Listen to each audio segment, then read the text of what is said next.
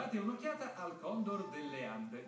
Ossa cave, apertura alare di circa 3 metri, ma un peso di meno di 15 kg. Paragoniamolo allo struzzo.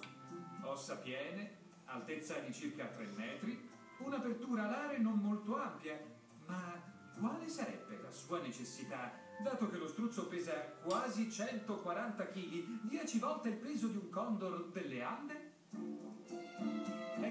Ragione per cui gli uccelli sono speciali. Sono diversi. Gli uccelli sono tutti riconoscibili come uccelli dalle loro due zampe o dai loro becchi, ma le differenze sono sbalorditive.